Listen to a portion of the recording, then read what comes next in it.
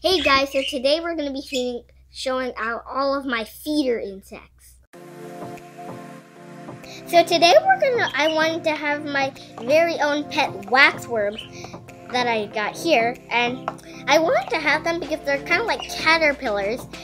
And they're supposed to be feeder insects, but Pebbles didn't want to eat them very much. I mean, she eats them, but she doesn't eat them very often. Not her favorites. Yeah, they're not her favorites. So these are the ones I set aside to be pets in the cup. And then here's another one that was going to be my pet, but he's crawling off the lid. For some reason, they don't really crawl very well on like this table. See that he's not really crawling. I guess he is now. I guess I have to do that little wiggly thing maybe. And so this is what they're going to be in, and I wrote waxworms on it. And this is a old dubia roach container. The lid was already ready with air holes, so we just decided to use this. And there's plenty of room. So these are them in their new enclosure.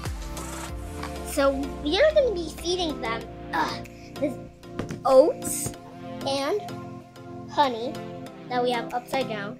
so that it's upside down so we can get the honey to fall to the top instead of like us having to like yank it down to the bottom.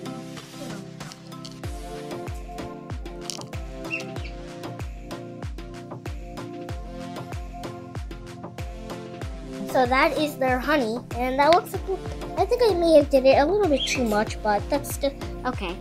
I'll still eat it. So that's their little enclosure. You can still hide under it, and hopefully they don't get sticked up together with the honey. And by the way, if you're wondering what these red things are, these are cocoons or pupae.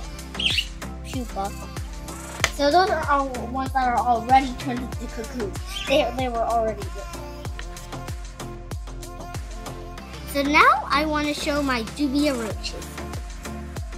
This is actually a Tupperware that we punched holes in. So that's, my dubia farm.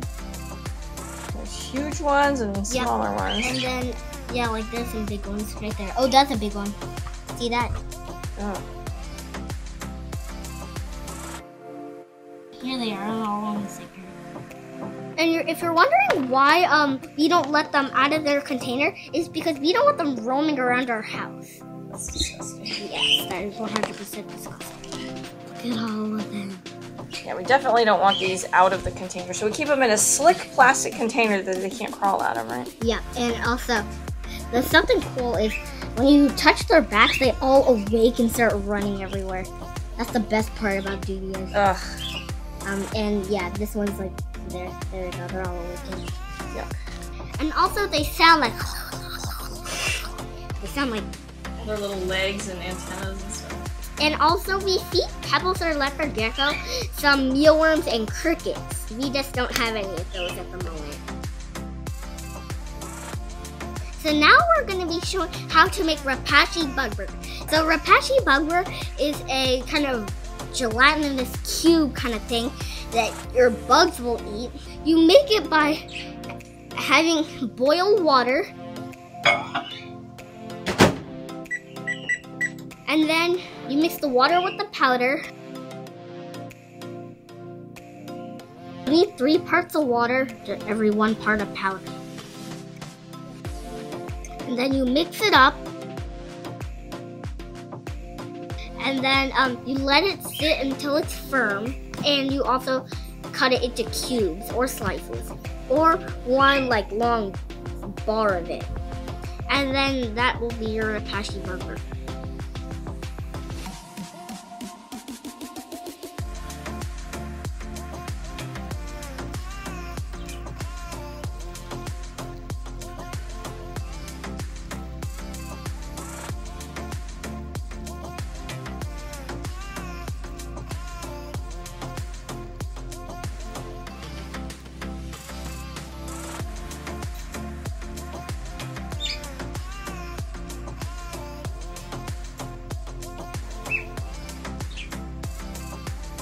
So those were my feeder bugs.